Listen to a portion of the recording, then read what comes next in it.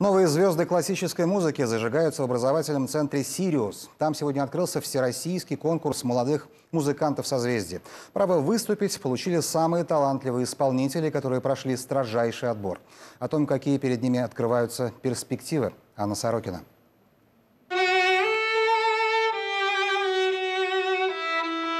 Виолончель финалистки конкурса Полины Тхай окунает слушателя в танцевальные ритмы с народной темой. Когда играешь, соревнуешься с ребятами, которые старше тебя, которые намного опытнее тебя.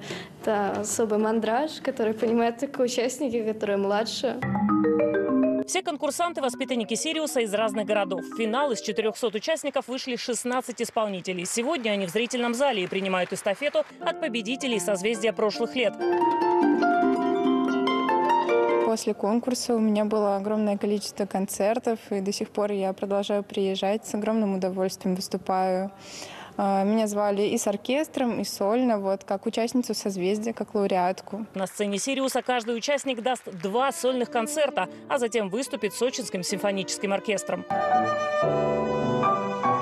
Образовательный центр «Сириус» проводит конкурс молодых музыкантов созвездия в четвертый раз. Я уверена, что все ваши дальнейшие выборы послужат э, большему раскрытию вашего таланта, реализации и э, вообще, наверное, ну, другому качеству жизни, которое будет все время увеличиваться за счет уникальной профессиональной среды э, вокруг вас. «Сириус» всегда открыт для вас. Жюри, эксперты конкурса, знаменитые российские музыканты и деятели искусства. Участники виолончелисты волнуются, следить за их выступлением будет известный виолончелист, народный артист России Сергей Раудугин. Конечно, он будет судить строго, но я считаю, главное это, конечно, чтобы было приятно.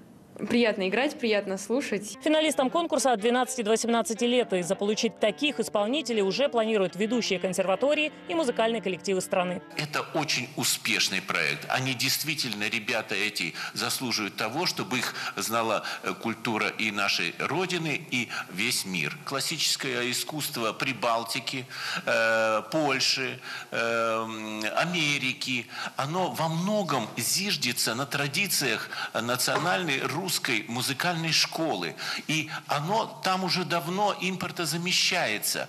А э, для нас это текущий процесс. Э, у нас э, этого импортозамещения не требуется. Конкурс продлится 4 дня. Имена лучших исполнителей назовут 21 апреля. Победители конкурса «Созвездие» в награду получат музыкальные инструменты. Финалисты смогут поступить в лучшие учебные заведения страны и выступать в составе ведущих музыкальных коллективов России. «Сириус» начинает новый концертный сезон. Художественный руководитель фонда «Талант и успех» Ханс Йоахим Фрай, решив не уезжать на родину в Германию, остается в России и обещает зрителям яркую российскую и международную программу. I work in this country since 12 years. Я работаю в стране 12 лет, и я люблю эту страну, ее людей. Работа здесь — это фантастические перспективы, и я хочу продолжить работать. В программе классика в исполнении оркестров и камерных коллективов, опера, балет и джаз.